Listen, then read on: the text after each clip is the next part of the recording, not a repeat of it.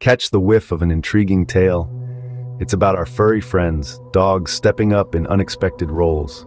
Imagine dogs sniffing out invasive species, aiding conservation efforts. Trained to track non-native animals and plants, these canine heroes support biodiversity, keeping ecosystems safe from invaders that could outbalance native species. Quite a task for our four-legged friends, isn't it? Now, let's switch the scene to a museum.